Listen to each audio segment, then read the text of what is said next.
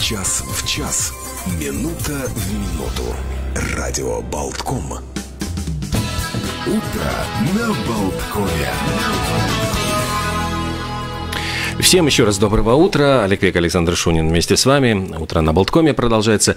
И, конечно, вот э, постоянная у нас рубрика обычно по понедельникам рассказывает о темпах вакцинации в стране, о том, какие вакцины сейчас доступны, что сейчас происходит. Но, конечно, мы видим снижение темпов вакцинации. И, судя по всему, что все те, кто хотел пройти, ну, вакцинироваться, вакцинировались. И вот дальше вступают в силу какие-то, ну, странные правила. То есть, с одной стороны, можно э, использовать кнут, с другой стороны, пряник пряник, но вот почему-то э, ну, мы наблюдаем, что вот какие-то лотереи, например, с розыгрышами ценных призов среди вакцинированных не получают такого как бы ну, одобрения э, в правительстве, а скорее вот правительство решает действовать методом кнута. И э, буквально вот э, во, когда это было вчера утвердили, утвердили новые меры, э, новые значит, э, регулирование э, эпидемиологических заболеваний. И вот согласно этому постановлению теперь будут представители определенных профессий обязаны быть вакцинированными. Будет ли это рассматриваться как, не знаю, практически запрет на профессию для тех, кто отказывается вакцинироваться по разным каким-то причинам. Я это воспринимаю несколько иначе, немного мягче. Ну, как? Во-первых, заболеваемость никуда не девается. То есть есть определенная группа людей, которые считают, что э, вируса этого нет вообще в принципе. Ну, это примерно те же самые люди, которые носят шапочки из фольги, считают, что там э, и СПИДа нет и не было, это какая-то придумка фармацевтических компаний и так далее и тому подобное. То есть сплошные а, теории заговоров. Этих мы просто сразу выносим за скобки, эти не обсуждаются как серьезные вообще э, доводы и аргументы. Болезнь есть, она никуда не девается. А заболеваемость растет, нагрузка на больницы растет темпы и результаты вакцинации низкие по разным причинам. Кому-то не хватает информации, кому-то всегда не хватает информации. Ну, просто он держится за это как за поплавок такой. А вот, вот, вот, вот последняя такая надежда. А я не допонял, а не пойду. Кто-то э, пытается аргументировать, что вакцины не до конца еще показали свою безопасность и действенность. Ну, различные аргументы. С другой стороны, да, опять же, а, я уже упомянул, в том числе растет нагрузка на сферу э, здравоохранения. Люди заболевают, люди умирают. С этим нужно что-то делать. Одна из мер – это добровольно-принудительная вакцинация. К этому можно относиться как угодно, и мы относимся к этому по-разному. Кто-то поддерживает, кто-то а, выступает строго против, но это один из методов. И это не запрет на профессию. Я вот так долго подводил к, к, к своей реплике. А одно из требований. Ну, ты, поступая куда-то на работу, отправляешь CV, где перечисляешь. Я Нет, там ну... умею то-то, то-то, то-то, у меня да, такой-то смотри, опыт. Здесь, здесь, здесь а еще я вакцинирован. Идет, да, но вот речь идет о том, что если я хочу стать, например, учителем, мне говорят, что надо, а вдруг вот я уже работаю учителем, вдруг правила меняются, и теперь меня, мне говорят, что надо вакцинировать. И это мне напоминает анекдот вот добровольного принудительный, что э, если вы согласны, это будет добровольно, если не согласны, принудительно. Совершенно верно. Да. И тут возникает основной вопрос э, этого утра, и почему мы позвали в гости адвоката Андрея Адамсона, как реагировать. Можно ли менять правила во время игры? Является ли это поводом поводом оспорить вот эти новые требования со стороны э, действующих работников. Ну, опять же, да, я учитель или там нянечка или, или кто угодно, сейчас э, эти требования введены для педагогов, всех, для всех, кто э, работает в этой сфере, а, и даже приглашенные лекторы. Весь медицинский персонал – действительно от помощника медсестры до там, главврача, хирургов и так далее, а, и вся сфера соцухода. То есть Андрей Адамсон с нами на связи. Доброе утро. Да, доброе утро. Отлично, и видно, и слышно, супер. А в таком случае, вот этот главный основной вопрос, он уже прозвучал, с удовольствием повторю. Является ли вчерашнее решение правительства а, поводом оспорить эти требования со стороны работников? Да, ну смотрите, то есть э, я, наверное, расскажу, наверное, в общем вам э, по поводу того порядка вообще оспаривания нормативных актов. Первое, о том, о чем вы знаете, это то, что несколько раз пытались там по разным э, причинам собирать референдумы, но об этом вы уже знаете, да. Но я расскажу, наверное, о двух методах, как можно оспорить. Если мы говорим про конкретного работника, ну, допустим, если работник, ну, допустим, педагог – педагог не согласен с этой, скажем так, законом. Но это не закон, это будет правило Кабинета mm-hmm. министров, который я пока редакцию даже не видел. Я так понимаю, есть только пресс-релиз для прессы и больше ничего нет. Так вот, если работник не согласен с введением этих новых требований, скажем так, да, то в этом случае, конечно, он может пойти, там, попробовать с кем-то посудиться, там, подать там, жалобу куда-нибудь и так далее. Но если есть закон в государстве, то его надо выполнять. И ни один суд, в принципе, э, не удовлетворит такую жалобу. Да? То есть поэтому что делать? Э, есть два варианта, два подхода. Первое, мы наверняка до него с вами услышим, доберемся когда-нибудь. Э, кто-то обязательно обратится в Конституционный суд – то есть это я сразу могу сказать, что это будет, mm-hmm. да. То есть, ну, наверняка я так предугадываю, да, события. Э, то есть Конституционный суд рассматривает, как вы знаете, жалобы э, не только личностей каких-то, но и групп населения. Да? Я думаю, что и какие-то политические силы или особо активные граждане обязательно обратятся. Так вот, Конституционный суд будет рассматривать, соответствует ли данная норма Конституции mm-hmm. то есть соответствует ли правам человека, скажем так. То есть, если мы говорим о принудительной вакцинации, ну давайте посмотрим, я вам, может быть, немножко объясню как юрист, да, то есть в чем в чем э, вся соль, почему вот э, то, что вот Александр там сказал, шапочки на головах там, и так далее, да. На самом деле, те, кто говорят, что э, нельзя принудительную вакцинацию проводить, они правы. То есть и э, они правы в том, что их право право на собственное, скажем так, тело, да, на распоряжение собственным телом, оно нарушается. То есть они правы. И также те, кто говорят о том, что надо обязательно вводить эту вакцинацию, да, они тоже правы. Вот в этом вся большая проблема, в том, что э, здесь сталкиваются интересы одного лица, ну, допустим, педагога. Педагог говорит, ну, неважно, там, я не хочу, не буду, не верю, там, и так далее. Ну, не играет никакой роли, да. Но с другой стороны идут интересы общества, ну то есть э, группы индивидов, да. То есть, например, ну, к примеру, мои права э, на жизнь и здоровье. Эти права тоже в Конституции закреплены. Так вот, если мы доберемся и кто-то составит жалобу, это не так просто, конституционную жалобу на эти правила, да, то тогда Конституционный суд будет рассматривать, а, являются ли права вот этого конкретного, допустим, педагога или группы лиц, да, более, а, скажем так, соблюдаемыми, чем права э, общества в целом, право на жизнь и здоровье. Вот в двух словах. Я, наверное, ответил длинно, но ответил. То есть первый шанс – это конституционная жалоба. И есть второй способ, как это сделать. Э, работник может, он обязан пройти все инстанции суда, судиться и жаловаться на то, что он не согласен а, с этой э, вакцинацией. И когда он пройдет в Латвии все инстанции, он может обратиться в ЕСПЧ напрямую. То есть сам, само лицо может угу. составить жалобу. Жалоба может быть составлена практически на любом языке, и на русском, и на латышском, ну, так как мы с Латвии, то на латышском и на английском, и направляет эту жалобу на рассмотрение в ЕСПЧ. И тогда ЕСПЧ уже смотрит соответствие этой нормы а, является ли данная норма нарушающим права человека. Хорошо, Андрей, вот. А, если с первым все понятно, это, скорее всего, коллективный иск э, в суд Сатворсмет, то второй способ э, индивидуально.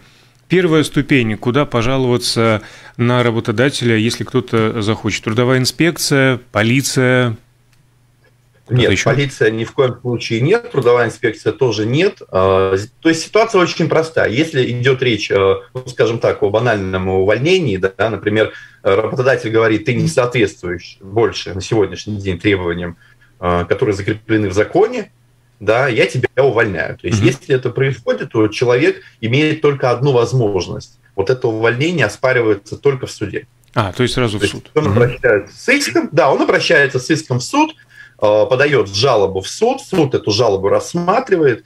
Э, мы предусматриваем, что суд э, скажет, что есть закон, угу. этот закон не был соблюден, и, соответственно, скорее всего, эта жалоба будет отклонена Э, у работника. Но он обязан пройти эти ступени, потому что нельзя напрямую, то есть завтра любой человек не может пойти и просто так подать жалобу в ЕСПЧ. Это невозможно. ЕСПЧ просто такую жалобу Да-да-да, я поэтому спросил, вот э, с чего начинать, какая да. первая ступень? Я рассказал, да, я рассказываю, надо пройти все ступени. Ступени mm-hmm. – это все инстанции суда здесь, в Латвии, то есть подается у нас, получается, э, трехступенчатая система, первая, вторая, третья инстанция, все инстанции проходятся, Соответственно, если все инстанции говорят, все в порядке, все соблюдено, закон есть закон, а, то следующая инстанция уже а, дальше Европа, ЕСПЧ, Европейский суд по правам человека. Э, если вдруг вот возникает такая спорная ситуация, что человек, э, может быть, по медицинским показаниям, у него какие-то заболевания, которые конфликтуют с вакцинацией, и вот, ну, даже сами врачи говорят, что, вы знаете, мы вот вам не советуем, все-таки может это привести к каким-то непредсказуемым последствиям. Вот в этой ситуации он может действительно, эм, ну, быть прав, то есть я не, ну, то есть я, я вакцинироваться не могу по медицинским медицинским показаниям, но э, получается, что я теряю работу, а я не хочу терять работу. Э, такого быть не должно, потому что есть у нас э, э вот эти вакцинации с нотайками, да, вот эти это пресловутые 330-е э, правила Кабинета министров, да, которые оговаривают вот эти обязательные группы, я так понимаю, там будут эти изменения, да. Так вот в этих правилах Кабинета министров уже есть вот это mm-hmm. то, о чем вы, Олег, говорите. Ну, есть оговорка, по да. поводу Э, да, там есть э, такая, такой пункт, да, э, там исключение есть, да, что если у персоны есть медицинские показания, то есть, допустим, аллергические реакции, там еще какие-то показания против вакцинации, то нельзя такого человека, даже если он входит в обязательные группы вакцинации, нельзя его принудить вакцинироваться и на работе, и вне работы, и так далее. Это предусмотрено уже, уже в принципе, нормативным актом. А, напоминаю, с нами адвокат Андрей Адамсон. Мы обсуждаем, возможно, юридические последствия вчерашнего решения правительства о конкретных группах, которые подвержены а, добровольно-принудительной вакцинации. И такой вопрос. А, если не говорить об этих исключениях, а обыкновенных э, работниках, которые ну, все-таки подпадают под эти требования, в случае увольнения полагается ли им какая-то компенсация? Ну, смотрите, если мы говорим о том, что работник э, в какой-то момент на основании закона э, перестает соответствовать э, требованиям закона, то никакой компенсации он, он просто не соответствует занимаемой должности. Так Цинично. Да, по аналогии, вот как Александр говорит, что это новые требования, да, вот Олегу парировал тоже угу. предыдущие, скажем, в вашем диалоге, да, по аналогии, например, человек, работающий в сфере э, продовольствия, да, он должен иметь соответствующий сертификат, что он э, имеет э, ветеринарис dienesta, да, то есть специальное разрешение на работу. Ну, скажем, мы можем это приравнивать к этому же самому, да, мы можем говорить о том, что если человек не вакцинирован, то в этой ситуации правительство вводит новые требования к определенным группам, к определенным профессиям, что это является обязательным требованием. Если ты как работник не э, этим требованиям не соответствуешь, то, соответственно, ты не соответствуешь занимаемой должности, и тогда никакой компенсации тебе, в принципе, не полагается. Но только те, которые там касаются неиспользованного отпуска, как обычно, да, и mm-hmm. так далее. То есть человек просто увольняется. То есть, ну, пока давайте дождемся э, редакции, посмотрим, как это будет регулировано. Пока этого я не видел, как это юридически сформулировано. Может ли э, возникнуть ситуация, когда этот список профессий будет расширяться, и, ну, вот начинается там с нескольких позиций, а потом все больше и больше, и э, поскольку сейчас, ну, это оправдывается действительно тем, что эти профессии связаны с э, контактом с большим количеством людей, и напрямую от этого зависит, э, в общем-то, здоровье окружающих, но если вдруг этот список будет достаточно, ну, трактоваться широко, в него будут включаться все новые и новые профессии, можно ли это оспорить вот именно позиции того, что эта профессия не предусматривает большого количества контактов с людьми, и вот в данном случае это ну, нарушение вот моих прав? Ну, Олег, я, я скажу так, меня вот в этом э, оповещении, которое было, да, меня больше всего э, напрягает э, уже довольно широкий лист, скажем так, круг лиц. А, потому что э, помимо того, что определены профессии и области, да, А, там есть еще одно, может быть, вы так не, упустили один такой важный момент, на мой взгляд. То есть этот круг лиц уже сейчас не ограничен, в принципе. Там написано следующее, о том, что будут введены правила, при которых любой практически работодатель, который считает, что его работники ну, неважно, любой сферы, его работники э, сталкиваются с каким-то количеством людьми, людей, они уже могут это вводить. То есть, по сути, я думаю, что расширения вот этого круга лиц не будет, но вот эти широкие возможности, они меня, они меня больше пугают. Да? А, вот то есть там есть какая-то вот возможность трактовки вольной достаточно. Трактование, да, mm-hmm. вот как это будет введено, как это все будет э, трактоваться, потому что мы же не знаем, работодатели тоже есть разные, да, и мы не знаем, как это будет э, в дальнейшем ну, я надеюсь все-таки на какое-то благоразумие, но все равно мы с вами не знаем, может быть, о том, что будут какие-то неформальные указания, да, каким-то, скажем, предприятиям, которые не являются государственными, но у которых есть государственный капитал, например, да, то есть э, будут какие-то неформальные указания на введение этих требований и так далее.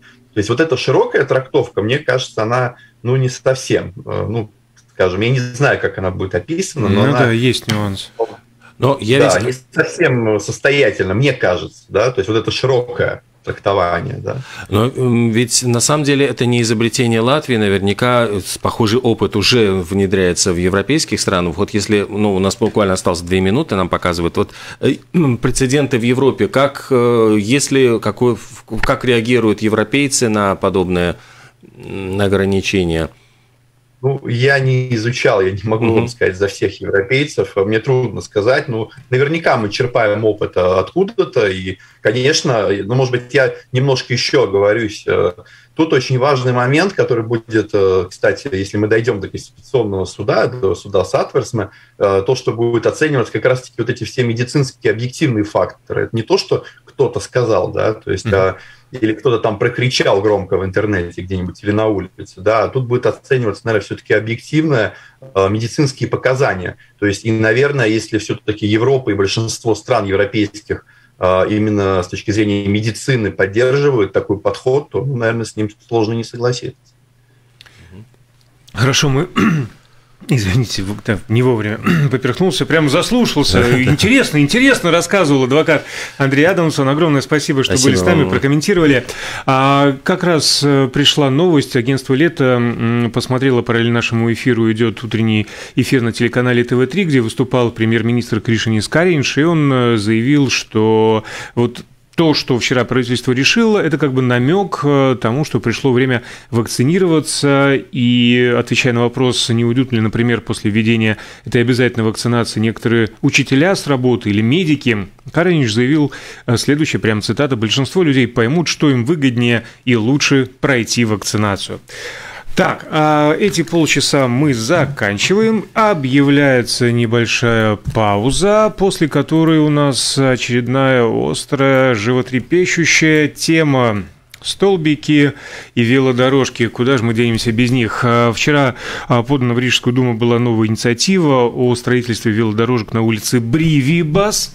А пару дней назад э, транспортный комитет той же самой столичной мэрии обсуждал будущее улицы Крышина-Барна, ее пешеходное будущее. С этими нюансами будем разбираться, расспросим Олафа Пулукса, главу транспортного комитета Рижской думы. Утро